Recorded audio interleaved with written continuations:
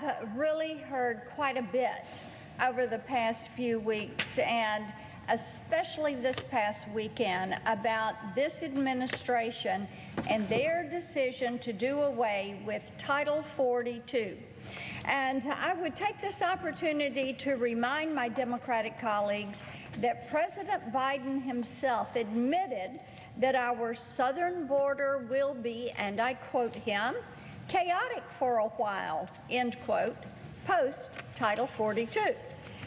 So the expectation is that this will create chaos, and they know it, but they're doing it anyway. In the days right before Title 42 was terminated, we were already seeing unprecedented chaos along our southern border. Again, they knew it. Chaos was coming, but they were going to do it anyway because it serves their purposes.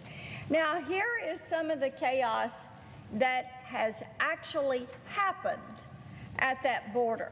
Now, these are last week's numbers. They're not my numbers.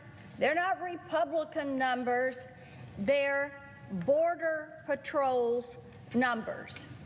This is what this administration is doing to the communities that are along that southern border. Border Patrol reported last week 68,000 apprehensions, and they seized hundreds of pounds of narcotics, including 56 pounds of fentanyl.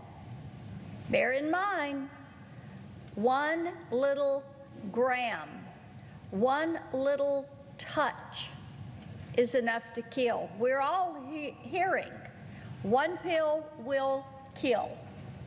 And yes, think about 56 pounds of that coming in. What would that do to your community? Now, at the same time, on top of the 68,000 that were apprehended, there were 16,000 gotaways that they could see on surveillance video, but they could not get to them. Those are the known gotaways. So they cross the border and they go running into the country. There are also the unknown gotaways. And Mr. President, as you know, as Border Patrol is out, as they are going through their day, many times they find evidence of people that have crossed where they couldn't see them on video.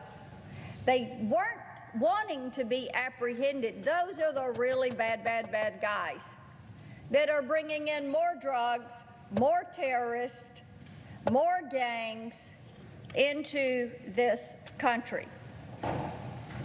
In the past 72 hours alone, we've seen three agents assaulted. These are our Border Patrol agents. They are being assaulted. Bear in mind the cartels, global organizations, the cartels are in charge of that border on the Mexico side. So three of our agents have been assaulted.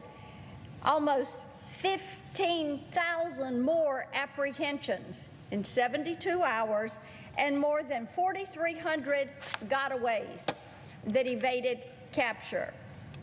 Now, as I said, these are not my numbers. They're not Republican numbers. These are the numbers of the Border Patrol. They're the Biden administration numbers. They know they are creating chaos, that they're making life difficult, that they are making the job of Border Patrol harder every single day. But it serves their purpose, so they do it anyway. They know exactly what's happening and what will happen if they don't regain control of that border, more chaos. The chaos is going to escalate because the drug cartels were exploiting the end of Title 42 well before last week. I have on my poster this weekend review with the apprehensions we've talked about. Um, $83,000 that was seized.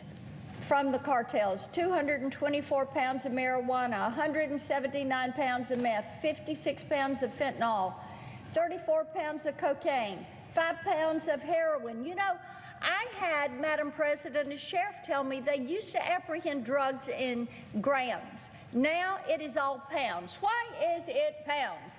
It is because the the cartels are so emboldened. Oh, here we go. We've got some more. Seven firearms, five sex offenders. These are people that are convicted of crimes in their countries and they're trying to come in here. A lot of these countries are emptying their jails and trying to unload them on us. Well, four gang members coming to a neighborhood near you. Why is it that crime is running rampant? Well, we know. Now, this is all from last week. Two felons, one subject with five warrants. That's what they are dealing with. Now, from October of last year to March of this year, agents apprehended more than 1 million illegal immigrants. Title 42 was still in place then.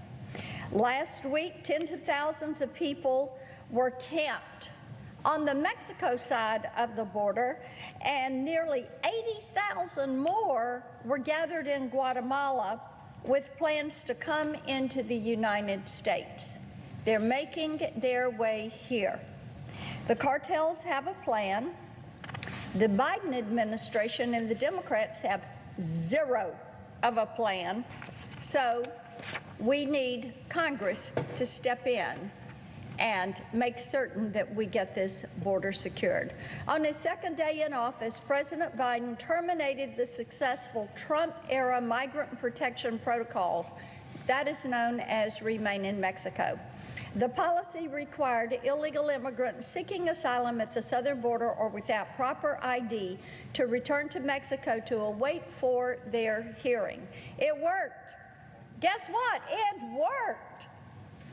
Now, instead of keeping it in place, the Biden administration and the Democrats have decided to go back to the old failed catch and release policy. Come on in, We'll give you a court date. Court dates now are about 2030, but come on, we'll let you in. They will be caught and then they're released into the country. Bringing back Remain in Mexico is essential to maintaining our nation's security and sovereignty, especially now that the Biden administration has completely undermined Border Patrol by stripping them of their Title 42 authority. So, this month, I introduced the Make the Migrant Protection Protocols Mandatory Act. Bill is simple. It mandates that individuals seeking asylum at the southern border or without proper ID must return to Mexico while they await their immigration proceedings. We should pass this as soon as possible. Now, that's step one. Step two is to strike at the heart of the cartel's $13 billion criminal enterprise. Since President Biden took office, human trafficking has become even more pervasive at the southern border. The State Department estimates that the cartels move as many as 17,500 people across the border every year. One in three is a child. We also know that the cartels overwhelmingly target young girls and sell them into sex slavery. And with the end of Title 42, these criminal abusers will feel particularly emboldened to expand their business. I want you to think about those numbers. Human trafficking has become a $13 billion business. Go back to 2019, it was a $500 million a year business. Ask yourself, what has changed in that time?